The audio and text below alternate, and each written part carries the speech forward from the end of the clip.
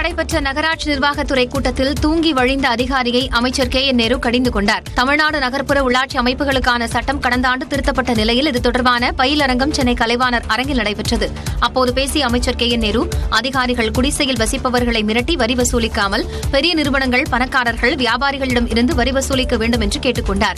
அப்போது கூட்டத்தில் ஒரு அதிகாரி தூங்கிக் கொண்டிருந்ததை பார்த்து விரக்தியடைந்த கே என் நேரு இவ்வளவு பேர் பங்கேற்றுள்ள கூட்டத்தில் தூங்கி வழிவது சரியா என கண்டித்தார். இதுல நீங்கள் சரியாக நல்ல முறையில் எல்லாரும் வராங்க ஒருத்தர் தூங்குறாரு பாரு. அவர் எழுத்தார் அந்த பக்கத்தில். அவர் தூங்குறாரு பாரு. யோ இங்கே நீ தூங்குற எவ்வளவு தூரம் காலையிலேயே நைட்டு இப்படிதான் தூங்குறேன் எந்த ஊருக்காரங்க? நல்லா இருக்கா? இவ்வளவு பேருக்கு முன்னால தப்பா போ. உட்காருங்க. தப்பாக தப்பா போகுது நல்லா இல்லை எவ்வளவு அவங்கவுங்க இது எவ்வளவு கஷ்டப்பட்டு கொண்டு வந்திருக்கான் மட்டும் தூங்குறீங்களா? நியாயம் அது? நாடாளுமன்ற தேர்தல் நெருங்குவதால் நகராட்சிகளில் வளர்ச்சிப் பணிகளை மேற்கொள்ளவும் அமைச்சர் கே என் நேரு அறிவுறுத்தினார்.